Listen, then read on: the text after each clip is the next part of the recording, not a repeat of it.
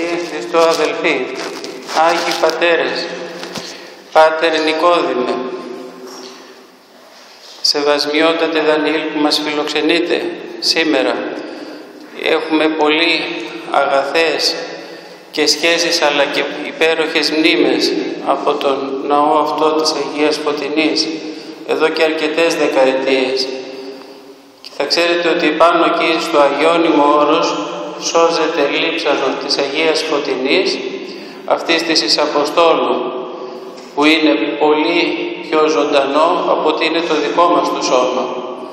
Γιατί αγαπητοί μου, θα θυμόσαστε από τα Εωθινά Ευαγγέλια όταν ο Κύριος μετά την Ανάσταση δηλαδή στην ανέσπερη μορφή Του γι' αυτό και λέγονται και Εωθινά μας δείχνουν πού πρόκειται να φτάσουμε όλοι μας μετά από αυτή τη σύντομη για τον καθέναν από εμά λιγότερο ή περισσότερο διαδρομή. Γιατί στην Μεγάλη Τεσσαρακοστή όπως είδατε διανύσαμε ένα στάδιο θλίψεως και αγώνος στο στάδιο των αρετών. Και ακριβώς αυτό συμβολίζει η Αγία Τεσσαρακοστή, τη ζωή μας επί της γης, εδώ στην εξορία του Αδάμ. Η περίοδος όμως, η χαρμόσυνη, την οποία τώρα διανύουμε και σε μεγαλύτερο χρονικό διάστημα, είναι στολισμένη όπως βλέπετε με εξαιρετικές εορτές όπως του σήμερα εορταζομένου Αγίου Γεωργίου του Τροπεοφόρου και του Αγίου Γεωργίου του Νεομάρτυρος και πολλών άλλων θα ξέρετε από το βίο του Αγίου Γεωργίου ότι κατάφερε ό,τι καταφέρνουν πάρα πολλοί Ορθόδοξοι Χριστιανοί γιατί λέει ο Άγιος Νικόδημος ο Αγιορείτης ότι οι Άγιοι της Εκκλησίας μας είναι περισσότεροι και από τους κόκκους της άμμου της θαλάσσης. Αυτούς όμως τους οποίους η Εκκλησία μας θα ήθελε να γιορτάζουμε είναι αρκετές χιλιάδες, εκατοντάδες χιλιάδες, εκατομμύρια νέφος μαρτύρων και αν θα έπρεπε να τους κατανείμουμε σε κάθε μέρα, σκεφτείτε το λίγο, τους γνωστούς, τους περισσότερο, θα έπρεπε να διαβάζουμε και να τελούμε την ακολουθία πάνω από 30.000 Αγίους κάθε μέρα. Και αυτό θα συνεχίσει βέβαια έως τη συντελείας, που το ξέρουμε από τα ονόματα των νέων μαρτύρων. Ο Άγιος Γεώργιος μας χάρισε πρώτος αυτό το μεγάλο όνομα του Αγίου, το οποίο επαναλαμβάνεται μέσα στο πέρασμα των αιώνων. Ήδη σήμερα γιορτάζουμε έναν Άγιο Νεομάρτυρα πάνω κάτω στα ίδια εδάφια που μαρτύρησε και ο Άγιος του. Και θα έχετε υπόψη σας Άγιο Νεομάρτυρα Γεώργιο και στη Θεσσαλονίκη, Άγιο Νεομάρτυρα και στα Γιάννενα, ο οποίος είναι και ο πολιούχος μάλιστα, ο Φουστανελάς, 17 Ιανουαρίου η τιμή του. Γιατί όμως και πώς μπορούμε να τιμήσουμε έναν Άγιο; Ρωτήσαν έναν Αγιορείτη μοναχό, τον πατέρα Νικόδημο, ο οποίος είχε μεγάλη αγάπη για τον Άγιο Νικόδημο, στην ημέρα της εορτής του Οσίου, του οποίου έφερε το όνομα. Γιατί δεν δέχεσαι τα χρόνια πολλά; Που θα ανταλλάξουμε σε λίγο αναμεταξύ μας. Και απάντησε με απόλυτη φυσικότητα, μα εγώ δεν γιορτάζω, ο Άγιος γιορτάζει. Αν θέλουμε λοιπόν να τιμήσουμε τον Άγιο Γεώργιο και το έχουμε, πιστέψτε με, πολύ μεγάλη ανάγκη, θα πρέπει να κοιτάξουμε να τον μιμηθούμε ή τουλάχιστον όπως ήρθατε σήμερα ευλαβώς να ζητήσουμε τη μεσητεία Του προς τον Κύριο γιατί αυτοί οι Άγιοι ακριβώς πήρανε αυτή τη δύναμη μέσα από τον τρόπο που έζησαν αντιδοξάζοντας τον Κύριο και όχι τον εαυτό τους να πάρουν όλη αυτή τη θαυματουργική δύναμη να μας θεραπεύουν, να μας απελευθερώνουν από τα προβλήματα της ζωής μας. Γιατί, γιατί εμείς δεν μπορούμε μόνοι μας. Έχουν πάρει λοιπόν μέχρι τη Δευτέρα παρουσία, γιατί μέχρι τότε θα έχουμε αυτή την ανάγκη, τη δύναμη να μας βοηθάνε. Όταν λοιπόν ο Κυριός μας το Εθνό Ευαγγέλιο ρώτησε τον Απόστολο Πέτρο, έναν έγκαμο δηλαδή, Σίμων Ιωνά φιλείς με, πλοίον τούτον. Τελικά τι αποφάσισες; Αυτή η ερώτηση είναι για όλους μας αγαπητοί μου. Ρωτάει λοιπόν όλους τους παντρεμένους όταν πάμε να εξομολογηθούμε στο πετραχυλάκι του πατρός του Νικοδήμου. Μας ρωτάει ο ίδιος ο Χριστός, «Μ' αγαπάς»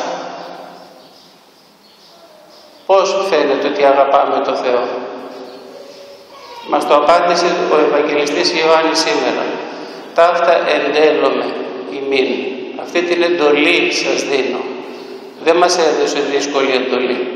Ή να αγαπάτε αλλήλους. Αγαπάμε λοιπόν τον Κύριό μας, τον οποίο δεν έχουμε δει, όπως και τον εαυτό μας και τον πλησίον μας, είναι η ερώτηση που πρέπει να έχουμε συνέχεια μέσα μας. Και βλέπετε ότι αυτοί οι Άγιοι καταφέρανε να νικήσουν στον πόλεμο των νοητών. Αν σας ρωτήσω, γιατί είμαι και εκπαιδευτικός, να κάνουμε ένα τεστ.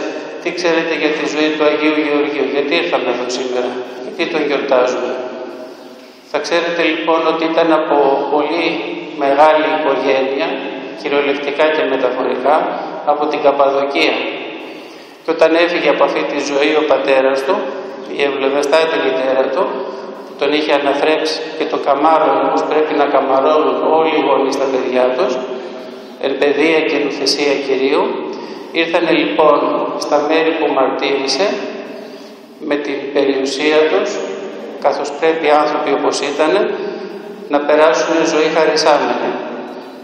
Όταν όμως ο Άγιος Γεώργιος, γιατί έζησε σε αυτά τα φρικτά χρόνια του μεγάλου διωγμού του Διοκλητιανού, είδε τον πόνο και το αίμα των Ορθοδόξων Χριστιανών,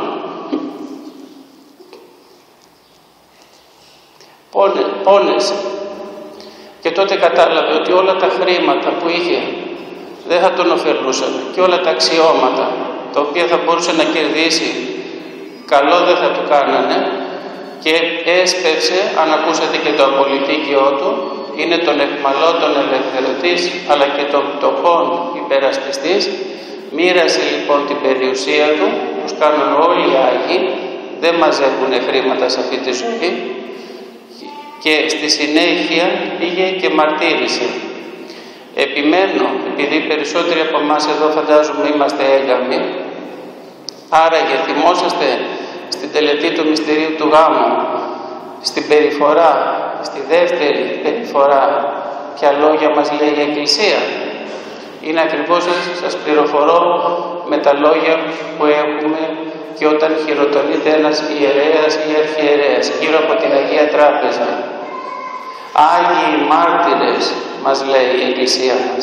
Κοιτάξτε, έγκαμοι, άντρες και γυναίκες, σύζυγοι, θα μαρτυρήσετε και θα μαρτυρήσετε το Χριστό, ότι έχετε αγάπη μέσα σας, όπως έκανε και ο Άγιος Γεώργιος και δεν θα υπολογίσετε ούτε τα χρήματα, ούτε τις θέσεις, προκειμένου να αγιάσετε, γιατί αυτός είναι ο σκοπός που παντρευόμαστε, για να αγιάσουμε. Έτσι λοιπόν και ο Πέτρος απαντάει Σύ Κύριε είδας ότι φιλώσε. Επανέρχεται όμως ο Κύριος και επανέρχομαι και εγώ. Σας ξαναρωτώ μετά από όλα αυτά. Είναι ψυχολογικό το τεστ που κάνουμε τώρα. Αγαπάμε το Θεό. Και έρχεται και τρίτη φορά, ώσπου αναγκάζεται ο Πέτρος με πολύ πόνο καρδιάς να αναγκάζει τον Κύριο να του δώσει τα κλειδιά της Βασιλείας των Ουρανών. Τι, λέει αυτό το μεγάλο θεολογικό λόγο. Αναγνωρίζει ποιον έχει μπροστά του και ομολογεί «Συ Κύριε, τα πάντα είδας». Ξέρει ότι έχει μπροστά του τον παντοδύναμο και παντογνώστη Κύριο. Ένας είναι αυτός. Πείμενε λοιπόν του λέει τα προβατά Έρχεται λοιπόν μετά από λίγους αιώνες ένας μεγάλος Άγιος της Εκκλησίας μας, ο Άγιος Γρηγόριος ο Παλαμάς, να μας πει αυτά τα λόγια. Τώρα εμάς τι μας ενδιαφέρουν. Θα ξέρετε λοιπόν ότι στη ζωή μας, όταν θα πάτε ξανά να εξομολογηθείτε, θυμηθείτε αυτή τη λεπτομέρεια, όσα πετραχίλια και να πέσουν επάνω μας, λέει ο Άγιος Νικόδημος ο Αγιορείτης, κακό το οποίο παραμένει αδιόρθωτο δεν συγχωρείται. Ρωτάει λοιπόν τρεις φορές τον Πέτρο αν τον αγαπά, λέει ο Άγιος Γρηγόριος ο Παλαμάς, ερμηνεύοντας το σημείο αυτό, το Ευαγγελικό, γιατί όσες φορές και όπως ακριβώς αμαρτάνουμε, έτσι ακριβώς θα πρέπει και να το επανορθώσουμε. Να μας δοθεί ένας κανόνας από το γέροντά μας. Ο δεύτερος λόγος, λέει ο Άγιος Γρηγόριος ο Παλαμάς, ότι αν θέλουμε να σωθούμε, οπωσδήποτε πρέπει να είμαστε χριστιανοί ορθόδοξοι. Αυτό δεν το συζητάμε. Το δεύτερο όμως από εμά δεν θέλει μόνο να είμαστε χριστιανοί ορθόδοξοι στην ταυτότητα την πλαστική, να είμαστε και στην πνευματική ταυτότητα. Να ξέρουμε δηλαδή και από πού έχουμε έρθει και πού πρόκειται να πάμε, να κλείνουμε τα μάτια μας γιατί είναι μυστήριο η ζωή του χριστιανού και με τα χαρίσματα τα οποία μας έχει δώσει το Αγίου Πνεύματος ήδη από το βάφτισμά μας μέσα σε αυτόν εδώ τον ναό, τα άπειρα χαρίσματα, να κοιτάξουμε να σωθούμε βοηθώντας το ένα στον άλλο. Τρεις λοιπόν, λέει ο Άγιος Γρηγόριος ο Παλαμάς, είναι οι τάξεις των σωζωμένων. Η πρώτη, την ξέρετε, είναι αυτοί οι οποίοι αφιερώνονται εξ ολοκλήρους στο Θεό, όπως άλλωστε έζησε και ο Κύριος μας και η Παναγία Μητέρα του και ο Άγιος Γεώργιος και πολλοί άλλοι. Η δεύτερη κατηγορία των σωζωμένων είναι οι έγκαμοι, εάν και αφόσον τηρήσουν και αυτοί παρθενία, περιοδική, ακτιμοσύνη σχετική και όχι απόλυτη όπως η μοναχή. Και ασφαλώς υπακοή στους κανόνες της Εκκλησίας μας. Η τρίτη τάξη τώρα αγαπητοί μου είναι μια ευάλωτη κοινωνική ομάδα. Είναι αυτοί που λέμε οι χείροι, οι χείρες, αυτοί οι οποίοι έχασαν τον σύντροφό τους μετά από κάποιο γεγονός γιατί έτσι το έκρινε ο Κύριος. Αλλά να ξέρουν ότι εκεί που θα πάμε τους περιμένει ο σύντροφός τους να συνεχίσουν και στην αιωνιότητα. Τρεις φορές λοιπόν ρωτάει το Απόστολο Πέτρο, τρεις φορές πρέπει και εμείς να ρωτάμε τον εαυτό μας όπως και ο Άγιος Γεώργιος και αν θέλουμε να πάρουμε τη χάρη Του και να μεσητεύει για μας να μας κάνει καλά, να μας λύνει τα προβλήματά μας αυτός ο μεγαλομάτης Γεώργιος θα πρέπει και εμείς λοιπόν αγαπητοί μου όπως έκανε και αυτός να είμαστε έτοιμοι να θυσιαστούμε γιατί; Δεν θα σας πω τίποτα παρακάτω, θα σας βάλω ένα λογισμό αγαθό τώρα που θα φύγετε. Όταν λοιπόν ο Κύριος μας πάλι παρουσιάστηκε μετά την Ανάσταση, γιατί αυτό γιορτάζουμε, 50 μέρες τώρα, είδατε ότι το σώμα του ήταν σημαζεμένο από τα καρφιά. Τέσσερα, τρία, σώθηκαν. Τα βρήκε η Αγία Ελένη που θα γιορτάσουμε σε λίγες μέρες. Τα σημάδια λοιπόν στο σώμα του ήταν ορατά και οι ουλές.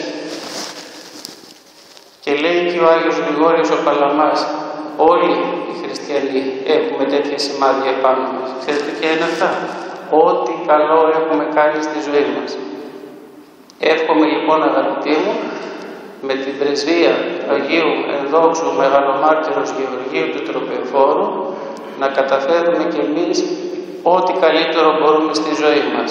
Και ένας είναι ο σκοπός μας, να περάσουμε από το δυνάμει, έχουμε τη δύναμη, στο ενεργεία, αυτό το ελάχιστο που θέλει ο Θεός από εμά. την προαίρεση. Είδατε ο Άγιος Γεώργιος, αλλιώς ξεκίνησε, αλλά η αγαθή του προαίρεση που τον έφερε.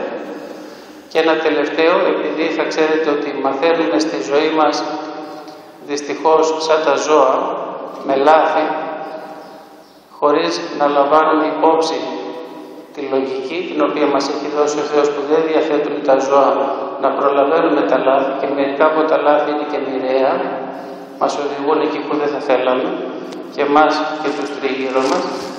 Θα ξέρετε λοιπόν ότι μαθαίνουμε με δύο τρόπους. Ο ένας είναι να ξέρουμε τα πάντα για την πίστη μας, τα πάντα για τον Χριστό μας, τα πάντα για την Παναγία μας, τα πάντα για το δόγμα της πίστεώς μας, τα πάντα για την ηθική.